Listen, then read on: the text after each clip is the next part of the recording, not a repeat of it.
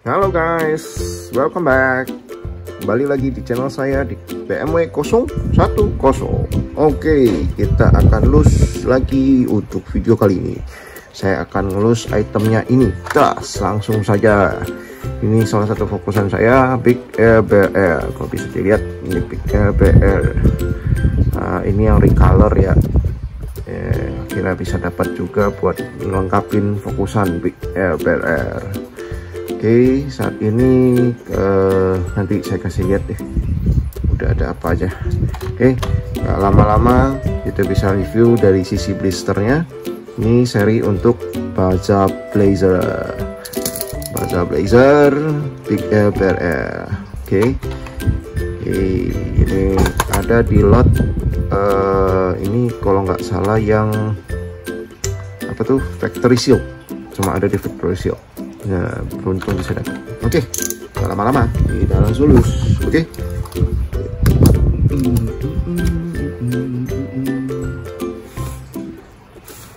cuma ada satu yang belum saya dapat. Itu yang warna gold yang emas. Mudah-mudahan bisa dapat. Jadi melengkapi koleksi Big LBR oke. Okay.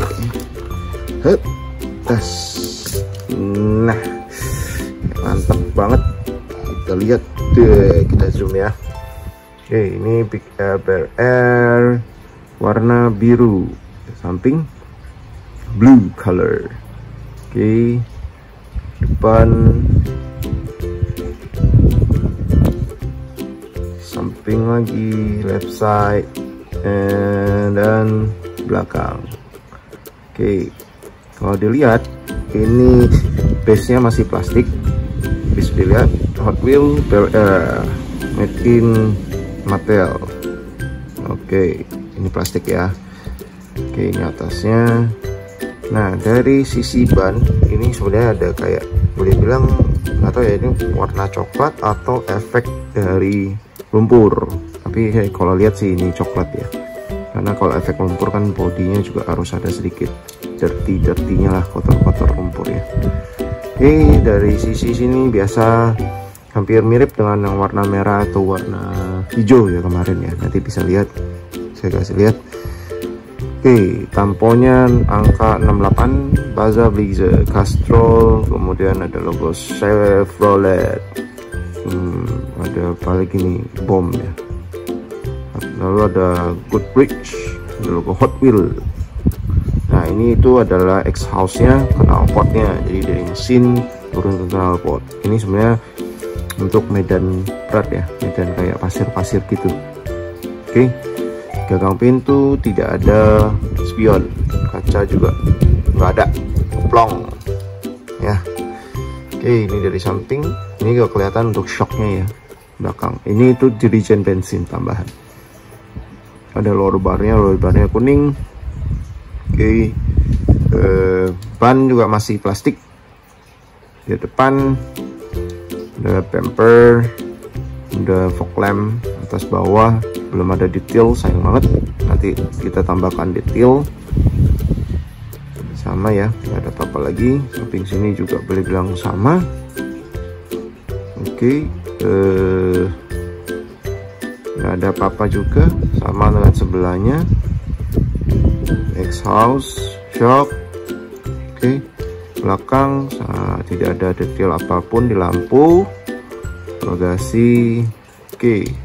atas dua strip line putih dan logo Chevelle Chevrolet bukan Chevelle jadi Chevrolet sorry hoodnya ada kayak macam blok gede oke okay. ini melengkapi koleksi Bel Air. Oke saya bentar saya ambilkan yang lain supaya bisa di uh, compare ya. Bentar. Jangan tinggal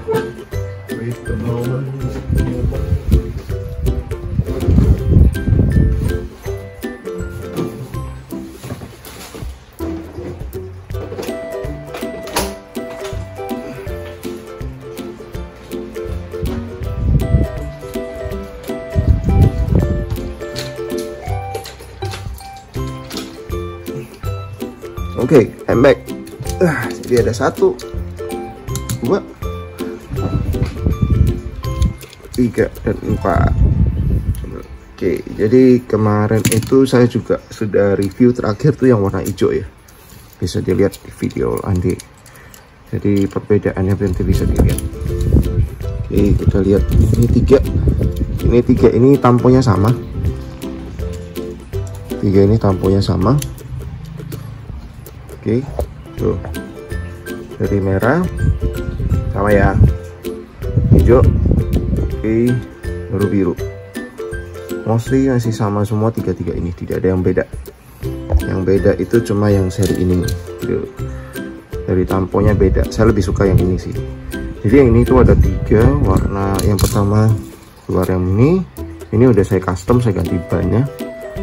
Bannya saya ganti karet kemudian keluar yang warna putih.